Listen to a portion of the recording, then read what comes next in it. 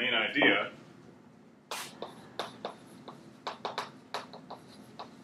is that you get uh, guaranteed transmission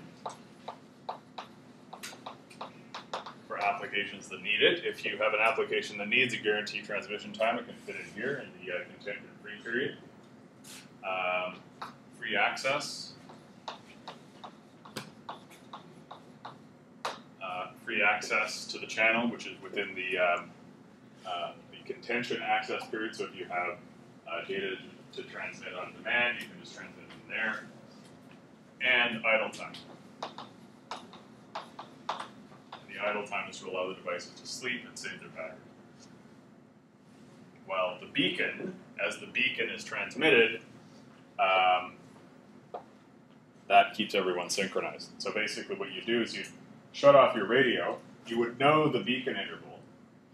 So, you, so each device would go through the super frame, shut off the radio, uh, wait the idle time until getting close to when they would expect the next beacon, activate the radio, listen for the beacon, and once the beacon is heard, they can start transmitting again.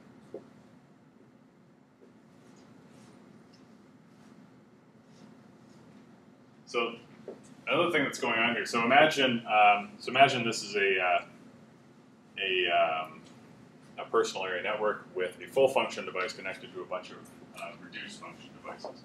So the idea with the beacon is that it's transmitted by the coordinator, and the coordinator is a full function device.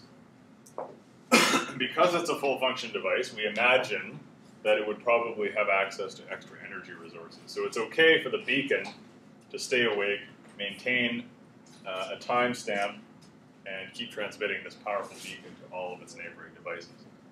Um, any other device uh, need not transmit during the super frame; it can just stay silent. So the, uh, all the other devices can just sleep sleep through the entire super frame if they like. The only device that's required to keep transmitting all the time is the coordinator.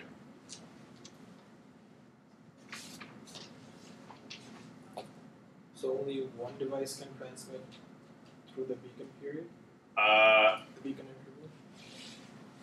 No, um, any device can transmit in the in the contention access period, and if uh, so, in this in this uh, scenario, I've divided the contention free period into four slots.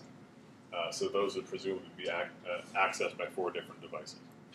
But if there's if there's a reduced function device out there that doesn't have anything to send, they can just sleep through the uh, sleep through the uh, contention period. So one device is given two opportunities to transmit. Yes. Yes. But presumably, if you've negotiated for one of these, you probably won't won't try to transmit it. The RFD uh, needs to sense the uh, channel for the error to, from other RFDs. Right? For the error? Uh, the to the channel is the channel free to send the Ah, I see. Only only in here. Um, so in the contention access period, that's when um, basically that's that's free and unallocated time. So if if the channel is available during that time, you are allowed to transmit. But uh, uh, when the RFD is parted uh, very far, they cannot sense. Ah, I see.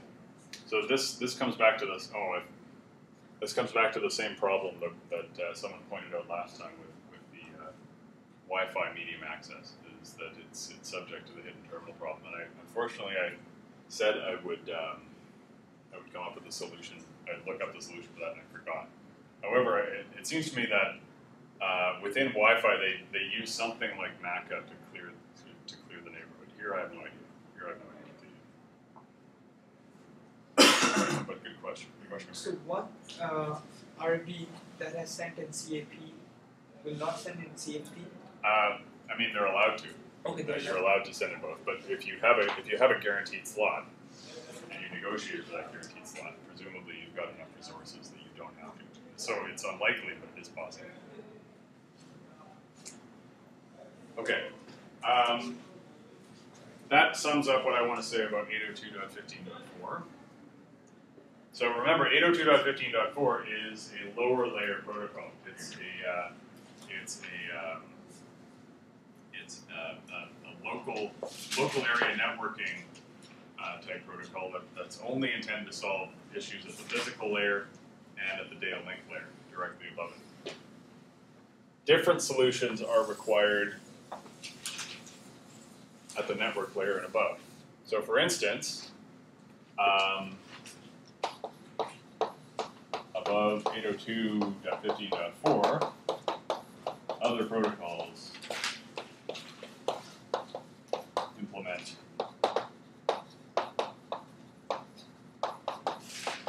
Higher layer functions.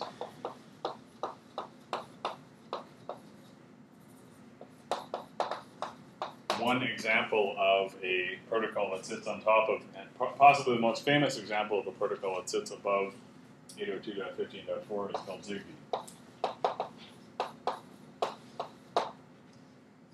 Um, so Zigbee basically completes 802.15.4 by providing uh, all of the all of the higher layer uh, network functions. In particular, one that it provides is routing. And the method that Zigbee uses for routing, which we're going to review in today's class, is called ad hoc on demand distance vector.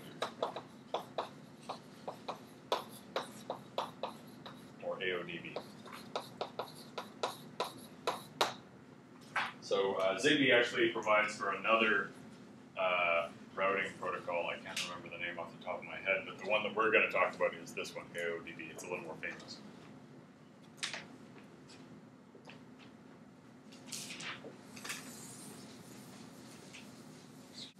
Yes. So we only covered start about the peer-to-peer uh, RFDs are allowed to contact each other. Uh, no. So um, in the feature of the RFD is that it's only allowed to connect to um, full function devices. However, uh, you're not in peer-to-peer um, topology. You're not stuck with the star. So, for instance, I have an FFD and an FFD, an RFD, a bunch of RFDs. Um, in star topology, I would have to do something like this. But in peer-to-peer, other